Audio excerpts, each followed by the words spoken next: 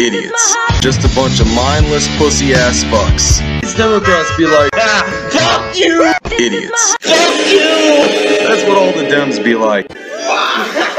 ah, shit. It's just not easy.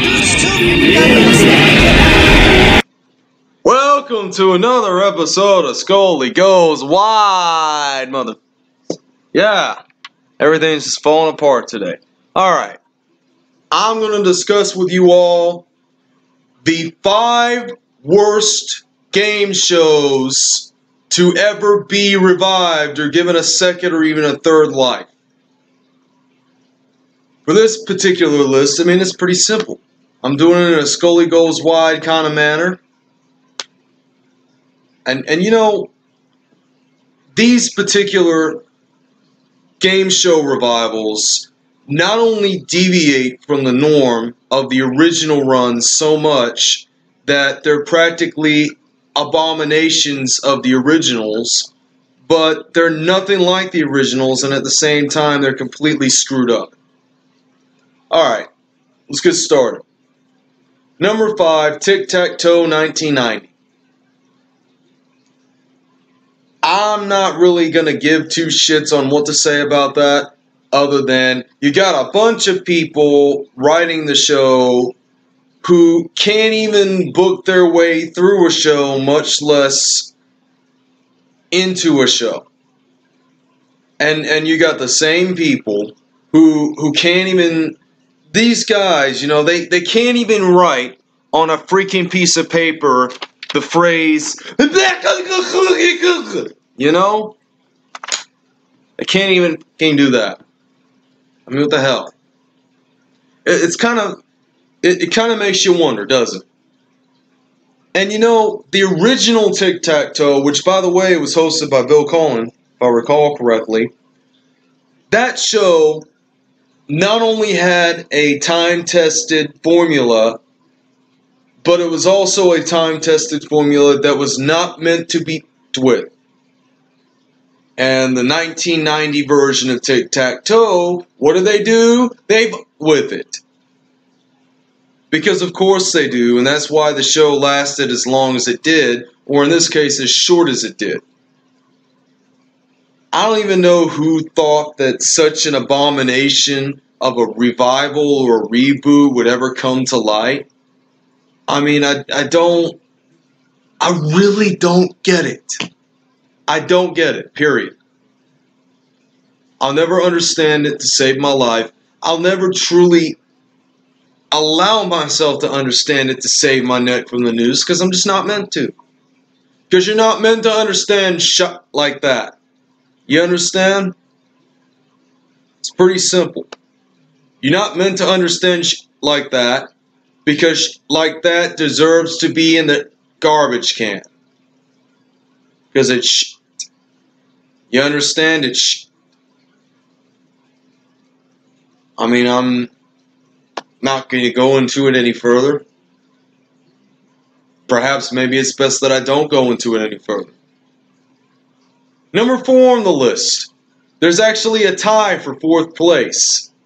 So if you're expecting five game shows that got revived that shouldn't have gotten revived in the first place in the way that they did, probably expect maybe a couple more of those. Right, number four, it's a tie for number four. The Match Game Hollywood Squares Hour, and of course, the 2008 version of American Gladiators. I'm going to start with the more obvious one American Gladiators 2008. The concept is pretty straightforward. You've got, and, and by the way, I watched the rebooted American Gladiators from 2007 to 2009, or basically when it when it aired in 2008 and 2009 and 10. You know, and the fact that they had an ex WWE professional wrestler named Hulk Hogan, who inadvertently and purposefully was put on the rebooted American Gladiator show to basically sabotage it from deep within. Perhaps that was probably most telling of all. And and maybe I shouldn't point this out, and maybe I should. And I'll tell you why. When he goes to interview a contestant, every three seconds he says brother or well let me tell you something brother. Or some shit like that. And i probably shouldn't say sh- but you understand because it's the fan and when it's the fan you got to get real. You understand? Because that isn't going to wait for you to get real. You got to get real with it. And of course hollywood squares was sabotaged by Mark Goodson despite the fact that it was not Mark Goodson's creation, which is why I include Match Game's Hollywood Squares Hour as the co-holder of the number four spot on this particular list. And and you know what's funny? What's so funny about this is that Mark Goodson created the match game and went about that part of the reboot of the two popular shows flawlessly. But since Hollywood Squares was not his creation, but rather that of,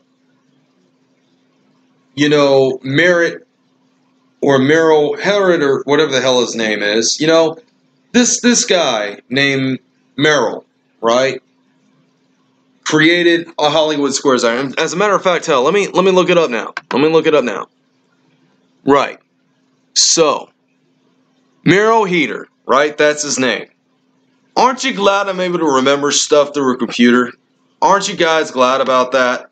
Now, since Hollywood Squares was Merrill Heatter's creation, Mark Goodson thought it'd be a good idea to reboot the two shows into an hour long programming show to bastardize Hollywood Squares and angelize the match game as it was once revived in 1973 with the original host of the 62 to 69 version hosting it for nine years. Now, you know why that was successful. We all know why that was successful. And for obvious reasons that I'm not going to go into, the Match Game Hollywood Squares Hour was a big fail, not because of the way that the match game portion of it was carried out, but because of how poorly executed the Hollywood Squares portion of it was carried out by Mark Goodson who sabotaged Merrill Heatter's own creation. And instead of having John Davidson host it or Peter Marshall host it, he had some know nothing schmuck named John Bauer, whatever his hell, whatever his name was. He was once the host of the Pop and Rocker game, but he was hired to host the Hollywood Squares portion of the match game Hollywood Squares Hour just to sabotage the product. And it was not John's it was not John Bauman's fault. Aren't you glad I correct myself as fast as I do? But John Bauman, who was the host of the Pop and Rocker game, was hired aboard the sinking ship of the Titanic that was the match game Hollywood Squares Hour to intentionally and deliberately sabotage the Hollywood Squares portion of the match game Hollywood Squares hour through no fault of his own, but rather through all the fault of one Mark Goodson. Just because of the fact that it was Merrill Heatter's creation, not that of Mark Goodson. Number three, and keep in mind, this one wasn't poorly as executed as with other particular knockoffs of reboots. Dare I say it, you know, number three on this list Are You Smarter Than a Fifth Grader? Now, why did it get revived? Because the original sucked in comparison. It lasted from, what was it, 2007 to 2010? And it insulted the intelligence of every adult just about that agreed to be a contestant on the show, and it featured questions that obviously the contestants were all scripted to either answer fraudulently or just deliberately get wrong. That's why the show initially got canned. What Fox won't tell you, the guys in charge of the show, is that Mark Burnett, the guy who created the disaster in the first damn place, rebooted the show for a 2015 revival with an updated version of the David Vanacore theme song of Are You Smarter Than a Fifth Grader? Are you smarter than a fifth grader? Are you dumber than a masturbator? Don't you wish you could be back in school? Cause you're not smarter than you used to be. I know, it's not, that's not how the fucking song goes, obviously, because it doesn't use the word masturbator in there, but it might as well have, because the show and its reboot in entirety sucked. And, and I'm going to tell you why. Because from the very first moment following the announcement that the show was going to get rebooted, everybody justifiably and rightfully shat all over it. They shat all over it because it sucked. They shat all over it because they knew it was going to suck. And they shat all over it because they didn't expect it to even come close to succeeding. And they knew that Are You Smarter Than a Fifth Grader was going to suck too in its initial run, but they expected something good out of it. And when something good didn't come out of it and nothing came of it, they still blindly watched the show, still waiting for it to get better. And then in 2010, they finally realized okay, this show's not going to get better. I'm going to quit watching it because the show fucking sucks. Meanwhile, Mark Burnett had the brilliant idea of rebooting the show for a 2015 run and revival, which did nobody any favors whatsoever because this show sucked. I don't think I even need to get in that one, right? Now,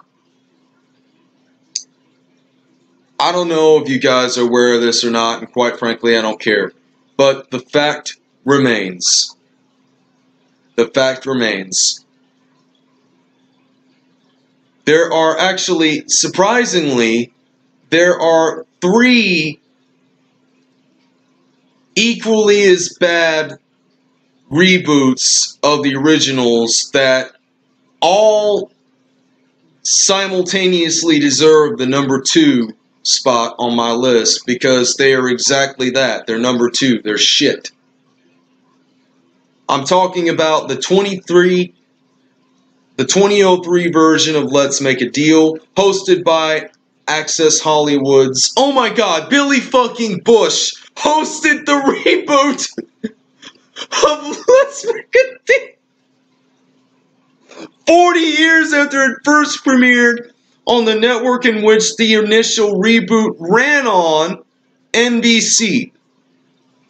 It was expected for a brief five episode cameo run of sorts, but it only lasted three episodes because of the fact that Billy Bush hosted it and the guys behind the reboot, including, oh my God, Monty Hall. What about that guy, right? He was the original host of the show in its initial run. But he was only hired to be the executive producer of the 40th anniversary reboot of it in 2003 when Billy Bush was hosting it, simply because he was going to be paid millions and millions of dollars to do it. Of course, the guy at the time was in his 80s, so he wasn't all there. I wouldn't be all there if I was in my 80s too. Not that I'm going to be in my 80s anytime soon. Of course, that'll only be about 75 years from now. No, wait, I'd be 100. Never mind. More like 55 years from now. But that's beside the point. The 2003 revamp of Let's Make a Deal was goddamn terrible from the beginning to the end, which is why it only lasted three of the initial five episodes it was intended to last for before getting axed permanently until 2009 when it was revived on CBS and hosted by the very popular co-hosts Wayne Brady, Jonathan Mangum, and the model Tiffany Clomer, or whatever whatever her name is. Her name's Tiffany. She's the model for the show. And those three, in this latest reboot of the of the popular game show once hosted by Monty Hall, has lasted since 2009 and is going to premiere season 10 of it this coming week, according to my local TV stations. Another worthy and equally terrible note that deserves to be mentioned in equal regard as being a number two on my list would be the terrible, ridiculous reboot of Temptation, also known as the new, new Sale of the Century. The only reason why it was called Temptation is because, oh, by the way, they gave away the fact that it was the new Sale of the Century, despite the fact that it had a long running TV game show in Australia of the same name from 1983 to 2001, I would say. And then, of course, it's based almost not in any way on the Jim Perry version of the show, which was hosted by Jim Perry himself from 1983 to 1989 for about six and a quarter years and that got axed, and it was revived in I don't know 2003 ish, 2001 ish, 2002 ish, and it was they produced 130 episodes over a span of three weeks, which is completely inexcusable. If if you're gonna make 130 episodes, let it be in about nine weeks, not three have some space between shows. Oh, oh, and they had this this worthless nobody host the show. Nobody knows his name because nobody cares to know his name because he's a bloke. Another particular bad show in particular that also deserves to be number two on this list which also holds the same number two spot as Temptation, the new Sale of the Century, and the infamous 2003 revamp of Let's Make a Deal, which, by the way, had some very provocative staged material on there, which included women trying to fondle a black athlete which didn't go anywhere with anybody. In fact, it only furthered the cancellation inevitabilities and completely fucked that show to high hell. But the third and last co owner of the number two spot on this list is, of course, the 2001 version of Card Sharks, which was hosted by Pat Bullard and in no way was related to the 1978 to 81 or 86 to 89 versions, hosted by the legendary Jim Perry, rest in peace, and Bob Eubanks, respectively. Or respectively. Aren't you glad I'm able to correct myself so easily? But let me let me explain something to you, okay? This reboot was so bad that by the second month of its syndication, it had been forced to air reruns of the prior episodes that aired prior to the reruns having to be issued. because the show sucked. You got a guy named Pat Bullard who hosted the 2001 reboot, which was created by GSN in an attempt to garner old fans of the show to the product. This was this was basically at a time when GSN was immature and in its awkward phase. As a matter of fact, it was in its awkward phase until about 2014 when it finally decided to just, you know, get its head out of its keister long enough to cancel the widely shat on American Bible Challenge. Why the hell was that even a show, by the way? But Card Sharks 2001 was the absolute drizzling, pissing shits. And for good reason. Too many changes to the original formula, a terrible end game, and Pat Bullard did none of the work except ask the questions. And by the way, by the way, there were too many changes in the particular revamp as opposed to the original formula for which the show was famous for. Even the YouTube web show that's obviously scripted, hosted by Game Show Entertainment, and some guy on YouTube who works for that particular YouTube channel hosted the show at, at basically a next to nothing budget. You know? And it's really, really sad when a tribute version of the popular show beats the 2001 version of it, which promised that a contestant who went to the money cards could win over $50,000 on the all new Card Sharks. I mean, fuck.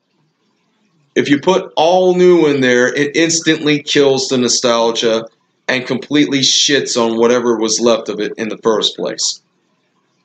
Number one, and I know it's not really going to come as a shock to you it probably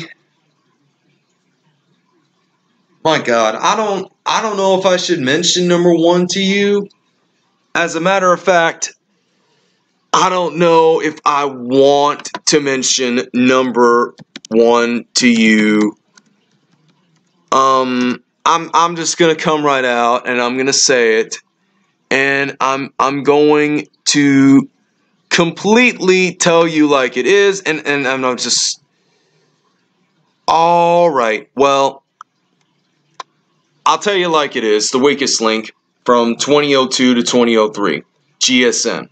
Of course, GSN, right? Because because of course, right? Because reasons we know what they are. The weakest links run on GSN from 2002 to 2003 was I mean it wasn't as good as it should have been. And there were high hopes for this, especially since George Gray was announced as the host, who had previously hosted Extreme Gong from, I think, 1998 to 2000. So he had a bit of experience. But this guy had more of a class clownish type of demeanor about him when in reality you're supposed to be the successor to the throne of the Queen of Mean herself, Anne Robinson, who hosted the British version of the show from 2001 to 2016 or 2015. It lasted a hell of a lot longer than the American version on NBC from 2001 to 2002 and a hell of a lot longer than the GSN version from 2002 to 2003. For reasons I'm not going to discuss, the dollar amounts for the GSN reboot were, were like pennies in comparison to the mass amounts of money you could win on the Anne Robinson Americanized version of the host of, of the show, which was hosted on NBC from 2001 to 2002. Now, while I'm not going to explain why this is the worst reboot of a show in the first place. I will give it credit, however, for having stuck to the initial formula. The problem, however, was that it was condensed to half the time of the particular original British version and the much shorter lasting NBC American version, both of which were absolutely stellar in their own rights. But this one had no excuse, you know.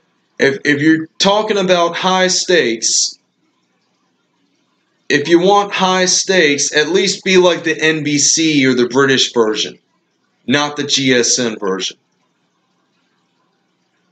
And I know you're going to disagree with me having dubbed it number one on the worst game show reboots of all time.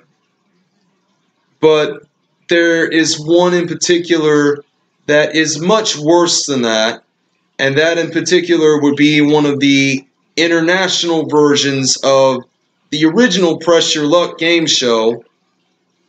And it had absolutely no excitement to it whatsoever because the winner of that particular show in each episode would be walking away with the equivalent of about a thousand dollars in American money, which is not shit compared to the actual American version of the show, which initially ran as Second Chance for a few weeks in 1978 and as Press Your Luck from 1986 to 89, or 83 to 86, I should say. Why am I confusing Card Sharks with Press Your Luck? Fuck me. But the Press Your Luck version from 83 to 86 in America on CBS, that was excitement. But the inter- one of the international versions of it, I'm not going to tell you which one. I'm pretty sure it was either well, actually, I am going to tell you which one. It was the English version. The English version. I mean, it was just it was just meh. There was no excitement to it whatsoever. Whereas the even the GSN version of Press Your Luck, also known as Whammy, which ran from 2001 to 2002, even that, as as wishy washy as it was, at least that had some excitement to it along with the CBS version of Press Your Luck, which ran from 86, nah, from 83 to 86. You understand? Aren't you glad I'm able to correct myself? But anyway, that's the list. And this episode has been brought to you by absolutely no one except for me. And the Corporation for Public Broadcasting, which is paid in part by absolutely nobody because nobody cares about it anymore. Jesus Christ